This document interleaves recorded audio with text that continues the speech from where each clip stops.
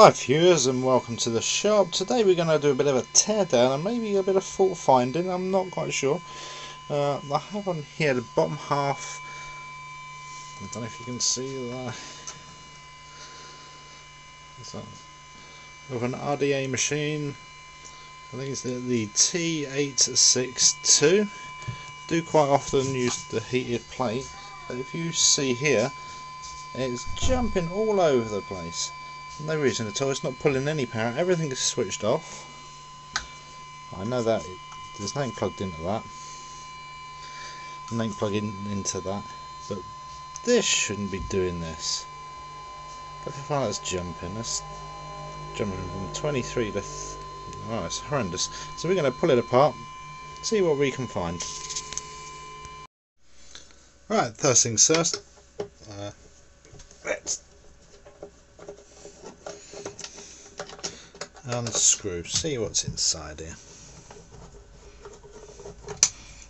Always remember, unplug.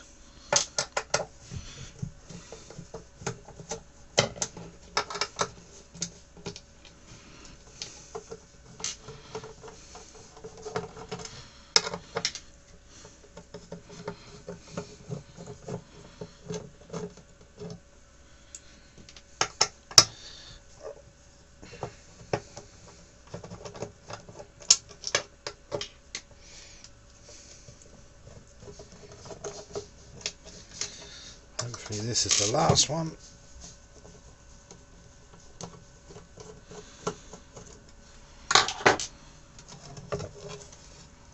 Okay, right.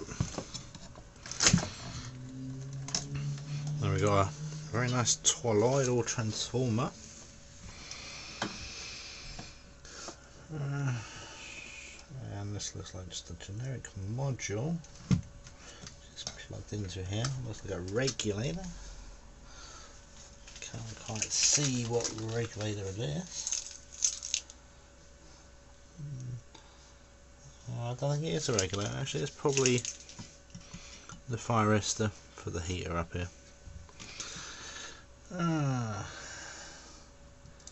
can't see anything obvious.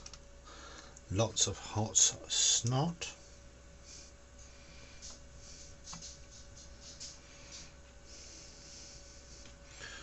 Okay, where's the uh, there's a sensor in question which comes into there. We've got a ribbon cable there. I mean, I would imagine it's it almost looks like it's a power supply problem. Uh, even though it does it on and off load, I don't know why it does it. What I'd like to do is actually tap in and uh,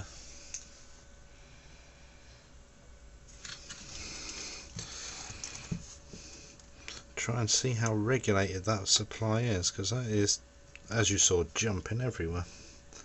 And I don't think it's meant to do that.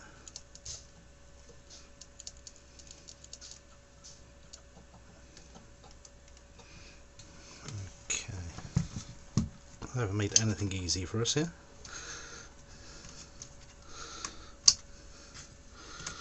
All this hot snot let's Wow, tons of the damn stuff. It's odd. Just wanted to get the board and flip it over. Just want to look, I always like to look for anything obvious to start off with. Before we delve in and... Right, almost there, almost. Can't disconnect anything. May be able to flip the board.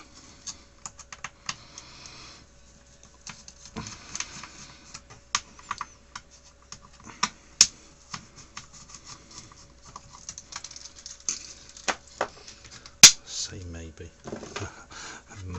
maybe and maybe not. Come on. Give us enough room to flip the board.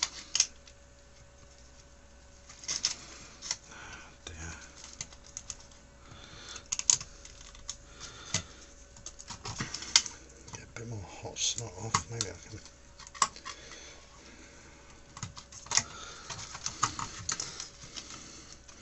Didn't want this to come apart, did they? Come on, come on, come on. Right, let's have a look on the underside. What have we got?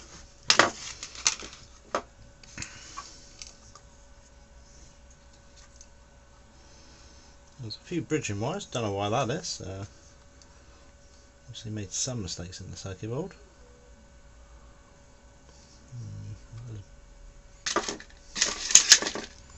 Also saying that, that's quite strange. That doesn't look like it's blown, it looks like deliberately removed. Okay. Definitely a strangey. Let's see where that goes or comes from. No.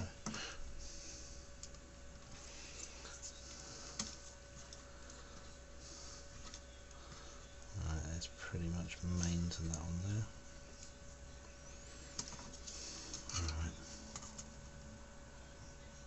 Okay, I'm just uh, going to switch off the video and I'll be back in a short while. Okay, well I've had a good look around. Uh, this display looks like it is just the display. It's all controlled by an AT Mega 16 here. Uh, the power supply is as stable as anything. I was hoping it was probably a capacitor gone and uh, that was causing the issue but it's not. Uh, I've actually shorted the sensor out here and it's still wonders uh, I said the problem's going to be in the ATmega so I can't really go any further with this.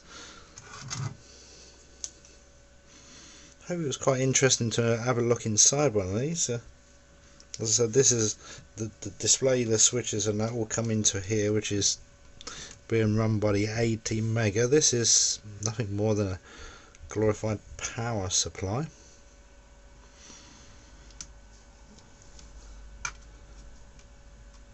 Yeah, these are these are our sensors in. Sensor for the soldering iron, sensor for the hot plate there. And these are our power to hot plate and power to uh, all the soldering iron and things like that. Uh, not much else I can say. Uh, fan's a bit noisy, but power supply is stable. So what I may need to do is look at actually totally modifying this and look a bit more into the ATmega, which is going to be obviously another video. It's not going to be covered today. Uh, hope it was interesting having a little peek inside. Definitely a nice big uh, toroidal there.